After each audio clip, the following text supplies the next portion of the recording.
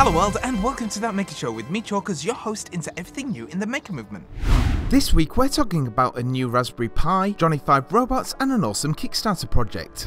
Monday saw the release of a new Raspberry Pi, the Raspberry Pi Model B+, described as not the Raspberry Pi 2 but rather the final evolution of the original Raspberry Pi. It sports 40 GPIO pins, two more extra USB ports, push-push micro SD socket, lower power consumption, better audio and a neater form factor with four squarely placed mounting holes, all for the same price. Most resellers had them at launch and they're still in stock in most places. Lady Ada did a full breakdown of improvements, changes and gotchas. James of X Robots gave us an update on his half-size Johnny 5 project. James was waiting for J5 Guru and his team to release the Johnny 5 robot CAD files, which has happened in the last month. Terry, the J5 Guru, on his YouTube channel goes over the history of the project, some awesome 3D printing tips and the current state of the project. You can access the CAD files by emailing Terry, details are on his Facebook page and his videos. This week's awesome Kickstarter project is the Biscuit Board. Biscuit Board is a